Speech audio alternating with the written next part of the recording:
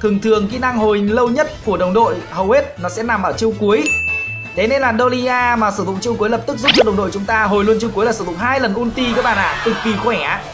Chưa có một vị tướng nào có thể giúp cho đồng đội hồi ulti nhanh đến thế đâu các bạn. 10 điểm không có nhưng hết chữ chấm.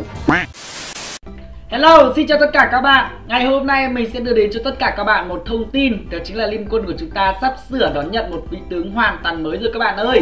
Vị tướng mới có tên gọi là Dolia Và trước đây Liên quân cũng đã có một clip hé lộ về sự xuất hiện của Dolia xuất hiện ở Liên quân. Thì mình sẽ cho mọi người xem qua lại nhé đây là một đây là một cái trailer đến từ chung kết AAC vừa qua. Thì cái này ra mắt vào dịp Tết. Thì mình sẽ để các bạn xem luôn để các bạn đỡ phải chờ đợi lâu. Ok nào chúng ta sẽ cùng uh, tiến đến với màn xuất hiện của tướng mới. Đây là một cái trailer này. Ui các bạn thấy không? Ui xinh vãi xinh vãi. Tướng mới của chúng ta đấy. Nàng tiên cá nhân ngư tộc. Ở đây thì sẽ có một dàn diễn viên của ca Funny, Butterfly, Ellen, Anastasia này và Liliana. Đấy, các tướng của Liên Quân đang ngắm nhìn ai đây? Ui, các tướng Liên Quân đang nhìn thấy một uh, cô nàng đang núp sau cái tảng đá nhá. Và với mái, với mái tóc màu xanh. Nhìn cực kỳ xinh xắn nha mọi người nha. Đó, ui ôi, mắt to, tròn, xinh xắn dã man. Đây là tướng mới Dolia sẽ được ra mắt Liên Quân. Sời Tướng Liên Quân chào đón bằng cái màn kiểu gì đây? giống kiểu chuẩn bị đánh nhau vũ lực quá. Mà cô nàng này ủi sợ quá. Đây là vẻ mặt của sợ hãi nha mọi người nha. Ok. Thì đây là tướng mới Dolia. Ngày hôm nay thì mình sẽ review cho tất cả các bạn về vị tướng mới Dolia này đây cho mọi người xem qua thêm lần nữa này. Đấy ở đằng xa kia là một cái biển uh, biển nước nhé mọi người nhé Vì tướng này là nhân ngư tộc mà thế nên là chắc chắn sẽ cần phải liên quan tới biển liên quan tới nước rồi. Ok bây giờ chúng ta sẽ cùng uh, xem là uh, ngoại hình cũng như là bộ kỹ năng của tướng mới ra sao. Bây giờ mình sẽ lạc trôi qua tự game vương giả vinh diệu nha mọi người nhé mình sẽ sang tự game vương giả vinh diệu. Tướng mới Dolia. Đây là màn xuất hiện.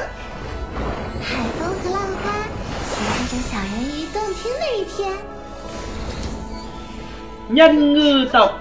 Trời ơi, một cô nàng vô cùng trong trẻo, xinh xắn, đáng yêu, cute.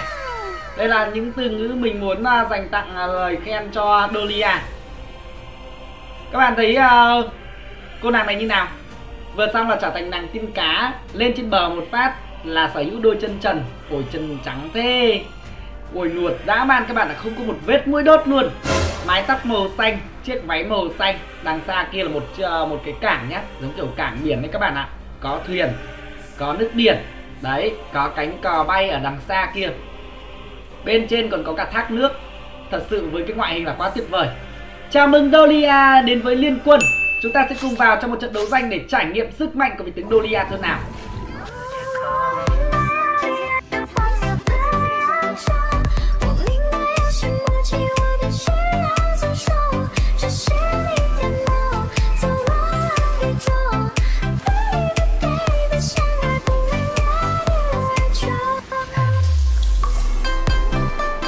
Ok, chúng ta sẽ cùng trải nghiệm sức mạnh của một vị tướng hoàn toàn mới chuẩn bị ra mắt Liên Mobile Việt Nam. À, Vị tướng này có tên gọi là Dolia, một trong những vị tướng hỗ trợ cực kỳ mạnh nha mọi người nha. À, Trước đây thì mình cũng đã review cho tất cả các bạn về vị tướng này rồi Nhưng mà lâu lắm rồi mình sợ mình không làm clip các bạn lại quên mất.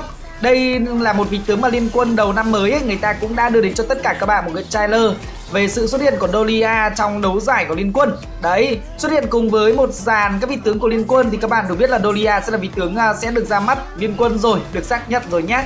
Nhưng mà chúng ta sẽ cần phải chờ đợi thời gian bao giờ ra mắt thời gian ra mắt thì mình cũng chưa biết chính xác thời gian như như thế nào nhưng mà dù sao thì mình cũng muốn review cho người qua về chất tướng đấy mình cũng sẽ cố gắng làm sao hạn chế bình luận thôi bởi vì là uh, mình muốn cho mọi người nghe qua về cái uh, gọi là cái giọng hát của Dolia trong một trận đấu đây chỉ là trang phục mặc định thôi nhưng mà Dolia cũng sẽ tạo ra những cái hiệu ứng âm thanh đến từ giọng hát vô cùng trong trẻo và hồn nhiên nha mọi người nhé. Đó. Nhưng mà trước khi uh, review cho người xem qua, nghe qua về giọng hát thì mình sẽ cần phải giới thiệu qua về nội tại chưa một, chưa hai, chưa ba của cô nàng này. Dolia. Nội tại của vị tướng này có tên gọi là quà tặng nhân ngư. Dolia sẽ là hóa thành người cá. Nhân ngư khi mà gặp nước cho mọi người nhé Gặp nước hoặc là gặp nước sông Thì cũng sẽ tính là môi trường nước. Thế nên là như các bạn biết bản đồ của Liên Quân ấy thì cũng có một cái con đường gọi là con đường sông ở giữa bản đồ. Không khác gì uh, Vương Giả Vinh Diệu đâu. Thì uh, cái sông đấy thì cũng sẽ được tính là môi trường nước nha. Thế nên là mỗi lần gặp môi trường nước lập tức là Dolia sẽ hóa thành cá. Còn hiện tại thì mình cũng chưa hình dung được ví dụ như là ở đối với các vị tướng của liên quân như là Châu Na này phượng như cái, cái con voi của Châu Na ấy nó tạo ra một vũng nước thì không biết Dolia có hóa thành cá được hay không. Đấy không biết là hóa thành cá nhờ nhờ vũng nước của đồng minh hay không thì mình cũng không biết nhé nhưng hiện tại thì Dolia có thể tạo được ra vũng nước cho bản thân và kể cả khi mà các bạn di chuyển ở đường sông các bạn cũng sẽ biến thành nàng tiên cá. Đó các bạn thấy không? Biến thành nàng tiên cá rồi đây này. Ấy nàng tiên cá luôn. Còn khi mà mình lên bờ lập tức nàng tiên cá sẽ mọc ra đôi chân đôi chân trần nhá. Chạy này không có dép guốc gì đâu các bạn ạ. à thế là mình cứ hỗ trợ đồng đội thôi. Các bạn thấy qua về chỉ số hồi phục máu là hồi phục liên tục luôn. Một vị tướng support mà hồi phục máu liên tục như thế này sẽ hỗ trợ đồng đội cực kỳ tốt nha. Lưu ý giúp mình là khi mà vị tướng này uh, bước vào trạng thái nước uh, khi mà phi xuống nước rồi uh, phi xuống nước rồi thì lập tức là sẽ biến thành uh, uh, nàng tiên cá. Và khi mà biến thành nàng tiên cá thì sẽ được giảm 50% hiệu ứng làm chậm này Đồng thời tự động giúp bản thân hồi lại rất là nhiều máu cũng như năng lượng nha mọi người nhé Thế nên cả nếu như mà chúng ta hết máu hết năng lượng thì cứ biến thành nàng tiên cá thôi. Đấy sử dụng kỹ năng tạo ra một vũng nước sau đó là uh, nhảy xuống trở thành nàng tiên cá hồi phục máu và hồi phục năng lượng. Ok trời ơi cứ hỗ trợ như thế này. Rồi mình chỉ cần kiếm mạng hỗ trợ thôi mà chứ còn mình cũng không mua muốn ăn mạng thật sự để ăn mạng được hơi khó.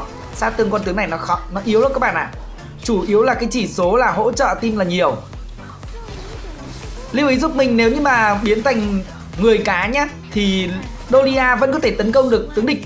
Đòn đánh thường trong trạng thái người cá sẽ là tát gọi là tạt nước gây sát thương diện rộng. Ờ, thường thường các bạn biết cây tạt nước không? Các bạn chơi, ờ, các bạn vào bể bơi rồi các bạn sẽ sử dụng tay các bạn tạt nước ờ, vào nhau ấy Kiểu như là chơi uh, đùa đùa với nhau ấy. Thì Dolia cũng vậy nhá Khi mà biến thành người, người cá rồi thì chúng ta tấn công một tướng địch là sẽ dùng theo kiểu phương thức là tạt nước, tạt nước, tạt nước và gây sát thương diện rộng uh, Gây sát thương diện rộng nhá. Nút hồi phục phục của vị tướng Dolia sẽ được uh, thay thế bằng quà tặng nhân ngư giúp thiết lập liên kết với một đồng minh được lựa chọn. Khi mà sử dụng âm thanh thiên nhiên sẽ ưu tiên cho đồng minh này hơn. Ok đây là về cái nội tại. Nói chung là nội tại của vị tướng này các bạn cứ hiểu nôm na là ở trạng thái uh, không có nước thì chúng ta sẽ là đi bộ. Còn khi mà chúng ta hóa thân thành người cá thì các bạn cần phải tạo ra một cái vũng nước. Cứ gặp nước là sẽ hóa thành người cá. Đi vào sông thì cũng tính là trạng thái nước thì cũng là hóa thành người cá. Tấn công sẽ là tạt nước tạt nước và khi mà các bạn biến thành một người cá lập tức các bạn cũng sẽ được giảm đi 50% hiệu ứng làm chậm cũng như giúp bản thân hồi phục máu có năng lượng nhé đấy hiểu nôm na về cái nội tại là như vậy. Về chương một của vị tướng Dolia, các bạn lưu ý giúp mình là Dolia sẽ hát vang thành 4 làn sóng âm lan truyền ra ngoài. Đấy, sử dụng chương một các bạn thấy không? 4 làn sóng âm lan truyền ra ngoài ba sóng âm đầu tiên sẽ là gây sát thương phép và làm chậm 10% kẻ địch. Sóng âm thanh cuối cùng sẽ là gây sát thương phép nhiều hơn và làm chậm kẻ địch 50% kéo dài một giây. Khi mà sóng âm thanh cuối cùng uh, chạm vào kẻ địch ấy, nó sẽ kích hoạt một tiếng vọng và gây sát thương phép lên kẻ địch mà nó chạm vào. Đó. Đấy là vừa gây sát thương phép này. Ngoài ra vừa làm chậm kẻ địch cũng có khả năng khống chế đấy các bạn ạ, à. làm chậm rồi. Vô cùng khó chịu. Lưu ý với mình đó là trong trạng thái nhân ngư, sóng âm cuối cùng cũng là sẽ khuấy đảo sóng nước với vị trí kẻ địch và hất văng chúng theo hướng của sóng nước nhá. Hất văng được luôn các bạn các bạn ạ. À.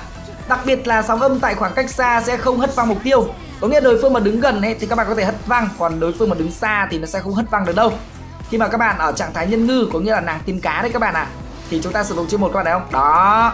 Các bạn thấy khi mà mình sử dụng uh, đang ở trạng thái nhân ngư mình sử dụng chiêu một lập tức là nó sẽ tạo ra rất là nhiều tiếng hát. Và cái phát cuối cùng nó sẽ rất là xa nha mọi người nhé kiểu sóng âm nó sẽ tạo ra rất là xa rất là rộng. Nếu như đối phương đứng gần thì đối phương sẽ bị à, hất văng. Nói chung là vì thứ này dễ hiểu lắm các bạn ạ. À. mình trình bày và kèm theo các bạn xem clip là kiểu gì các bạn cũng dễ dễ hiểu thôi. Chiêu hai các bạn nhìn thấy là mình lộn. Mình lộn một, một phát là mình sẽ tạo ra một cái vũng nước. Và khi mà mình uh, lộn vào đấy lập tức là mình sẽ bước vào trạng thái nhân ngư là trạng thái của nàng tiên cá đó. Thế nên các bạn đừng có lo lắng là không ra được sông để bơi thì cơ thì chúng ta rất là khó để biến thành nàng tiên cá. Đơn giản lắm, có chiêu hai là chúng ta biến thành nàng tiên cá được luôn. Chiêu hai của vị tướng này đó chính là rượt sóng. Cụ thể, khi mà Dolia kích hoạt chiêu hai lập tức nhảy về phía trước và biến thành nhân ngư nhé nếu mà điểm rơi là mặt đất thì Dolia sẽ tạo ra một vùng nước ngay tại điểm đó. Thấy không? Kích hoạt chiêu hai nhảy một phát tạo ra một cái vùng nước luôn. Nhiều khi các bạn thấy mình sử dụng chiêu hai toàn nhảy vào đồng đội của mình thôi thì mình cũng muốn hồi máu cho đồng đội. Bởi vì lý do là khi mà hóa thành người cái lập tức là bản thân Dolia sẽ hồi máu cho đồng minh bên cạnh, cũng như hồi máu cho bản thân luôn nha mọi người nhé vừa hồi máu cho đồng đội, vừa hồi máu cho bản thân. Nếu như các bạn sử dụng chiêu 2 vào, gọi là gần gần với đồng minh. Đó, các bạn thấy không? Mình nhảy chiêu 2 vào đồng đội, lập tức đồng đội của mình cũng sẽ được hồi phục máu. Một vị tướng hỗ trợ cực kỳ tốt nha. Còn nếu như mà Dolia mà nhảy vào nước 30% giảm thời gian hồi chiêu của kỹ năng sẽ được trả lại.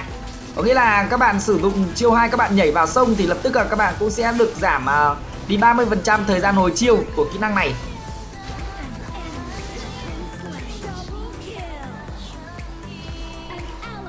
Còn các bạn thấy là cái vũng nước của vị tướng Doria nó sẽ không tồn tại vĩnh viễn đâu. Sử dụng chiêu 2 nhảy thì chúng ta sẽ tạo ra một cái vũng nước nhưng vũng nước này nó chỉ sẽ tồn tại là 4 giây mà thôi chứ không tồn tại vĩnh viễn đâu các bạn ạ. À. Còn nếu như mà muốn vĩnh viễn này thì các bạn chỉ việc là các bạn đứng trong cái vũng nước đấy thì nó sẽ cái vũng nước nó sẽ tồn tại vĩnh viễn còn các bạn rời khỏi vũng nước thì sau 4 giây lập tức vũng nước sẽ vũng nước sẽ hết nhá, sẽ mất. Muốn tồn tại vĩnh viễn thì các bạn à, nằm trong vũng nước Còn nếu như mà các bạn rời khỏi vũng nước lập tức là nó sẽ biến mất, vũng nước sẽ biến mất Rất là dễ hiểu Ok ép được trụ rồi. Chiêu 3 của vị tướng này là kỹ năng mạnh nhất. Tất nhiên là chúng ta chờ, chờ đợi chiêu cuối của vị tướng Dolia. Âm thanh thiên nhiên Cụ thể kích hoạt chiêu 3 lập tức uh, Dolia sẽ niệm chú ngắn gọn. Kỹ năng có thời gian hồi chiêu lâu nhất hiện tại của một đồng minh trong phạm vi sẽ được làm mới và thời gian hồi kỹ năng sẽ do chính cô ấy gánh chịu. Ấy các bạn hiểu không? Có nghĩa là đồng đội chúng ta có thể dùng lật hai lần ulti chẳng hạn nhé Bởi vì là vị tướng này nó Dolia sẽ giúp cho đồng minh chúng ta hồi lập tức Cái chiêu mà có kỹ năng thời gian hồi lâu nhất Thường thường kỹ năng hồi lâu nhất của đồng đội hầu hết nó sẽ nằm ở chiêu cuối Thế nên là Dolia mà sử dụng chiêu cuối lập tức giúp cho đồng đội chúng ta hồi luôn chiêu cuối là sử dụng hai lần ulti các bạn ạ, à. cực kỳ khỏe. Chưa có một vị tướng nào có thể giúp cho đồng đội hồi ulti nhanh đến thế đâu các bạn. Có thanh niên này như là bản gốc của Roker ấy bắn rát thế. Ui rồi, ui rồi, bắn rát quá. Nhưng mà các bạn muốn à, hồi cho đồng minh nào thì các bạn lưu ý giúp mình nó sẽ ưu tiên cho đồng minh đã được liên kết từ trước nhá. Nó sẽ hồi cái kỹ năng cho đồng minh được liên kết từ trước. Nếu mà kỹ năng của đồng minh sau khi làm mới không được sử dụng, tốc độ hồi chiêu của kỹ năng âm thanh thiên nhiên có thể tăng thêm 20%. Âm thanh nhiên thiên nhiên này là chiêu 3 đấy các bạn ạ. À. Tính ra thì chiêu 3 nó có điểm lợi và điểm hại đấy. Điểm lợi ở đây thì các bạn cứ thử phân tích đi. Dolia dùng chiêu cuối lập tức đồng đội chúng ta sẽ được hồi luôn cái kỹ năng. Mà có thời gian hồi lâu nhất, thường thường sẽ là ulti nhá. Mà các bạn thử hình dung như là Illumia chẳng hạn. Dùng hai lần chiêu cuối liên tục, có khó chịu không? Quá khó chịu đúng không nào?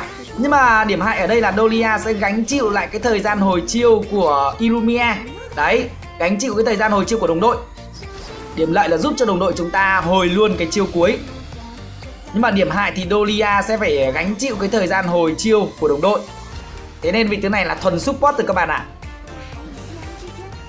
Ok, vậy là mình cũng đã trình bày qua bộ kỹ năng của vị tướng Dolia rồi nha mọi người. Thi thoảng mình làm clip về vị tướng này để các bạn đỡ bị quên.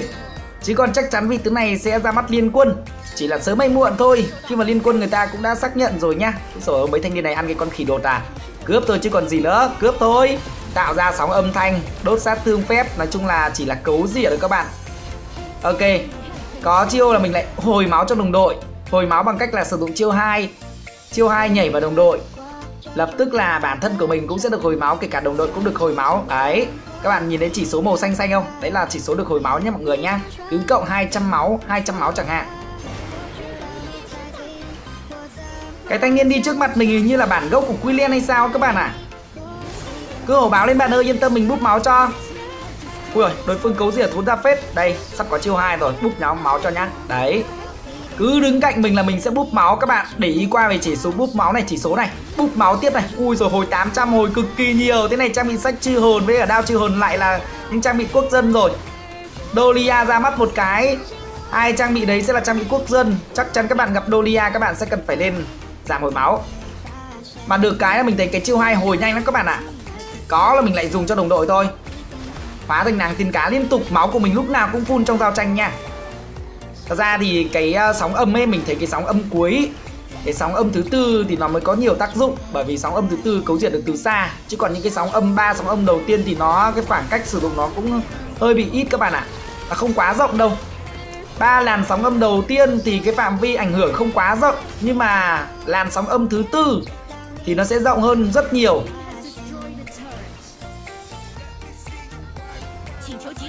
Bây giờ làm sao mà kết thúc trận đấu mà là điều quan trọng.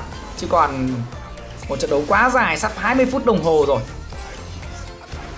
Cái nội tại quá lợi, Mọi người thấy trong giao tranh có bao giờ mình yếu máu đâu? Không bao giờ yếu máu luôn nhá. Kỹ năng thì hồi nhanh mà mỗi lần bước vào trạng thái nhân ngư lại được hồi máu rồi.